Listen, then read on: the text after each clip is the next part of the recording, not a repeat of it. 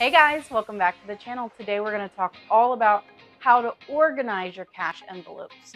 Once you have decided what your goals are, you've created your categories, you've created your cash envelopes, how are you going to organize them all? I mean, have you ever opened your wallet to find a complete mess? Receipts, cash, credit cards, all thrown and intertwined together? I know I have many times. It was not long ago that my bank account felt the same way, all thrown together, never quite sure where everything was or where it was supposed to be going or where it should be. If you're like me, this is super stressful. But what can you do about it? The simplest answer I've found is to organize your money. Just as you would all that you would never have thrown out important documents into a drawer, you know, haphazardly. Your money is just as important Just as you would never th have thrown your important documents into a drawer haphazardly, your money is just as important. Yet many of us, myself included, haven't been taught how to organize your money. We don't know how to organize our money. I'm here to help with that. I'm here to help with that. Over the years, I have discovered the beauty that is the cash envelope system. It is so useful for so many reasons, but the main reason is that it organizes my money. Once you have decided what cash envelopes to use and what categories, now is the time to figure out how in the world to organize them. There are many ways. Some are fancier than others, uh, but the basic goal is to have your envelopes in a safe, organized location. I have seen clients use backpacks, boxes, as well as file folders, my personal choice, but really anything that keeps them together and safe will work. The way that I organize my cash envelopes have evolved over the years. When I first began, I used a basic like white mail envelopes.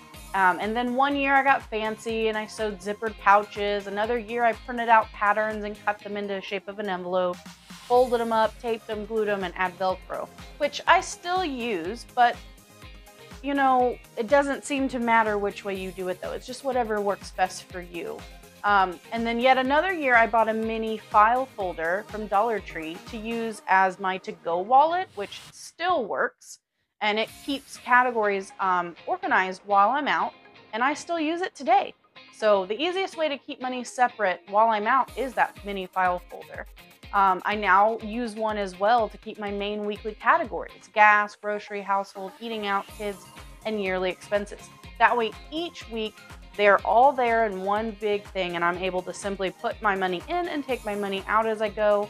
Um, the less the that way each week they're all together, and then I have a separate group of envelopes for my emergency savings and savings goal envelopes. Um, also a zippered pouch for my monthly bills since I'm a month ahead. As you, I have a video all about how to get a month ahead.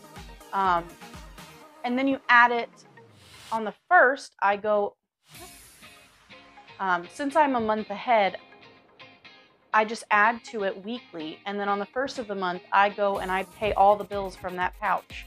Um, there are similar ways of doing that, though, if you're not a month ahead.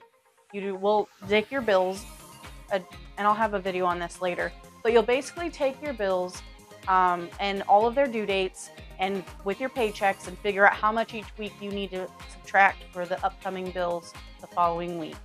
Um, and, and then if there's a check that's not enough, then make sure that you balance all of that out and you have a plan. It's really mainly about making a plan. The plan is the way that you achieve your goals. And I love cash envelopes because they're a solid plan. There's no avoiding it. You can't say, oh, I didn't know I ate all through, I, I didn't know I used all my eating out funds because they were all in one big day. No, you know it because the envelope is empty. you are done. No more eating out for you.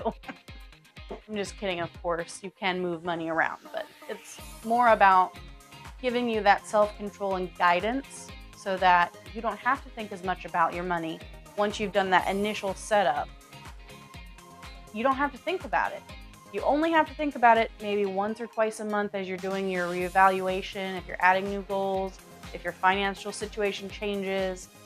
That's really the only times you really need to look at it. Otherwise, it's just a robotic putting money in the certain holes and moving on. So all of those various budgeting methods are contained um, in a box for safekeeping, or like I said, a backpack or file folder, file cabinet, something like that.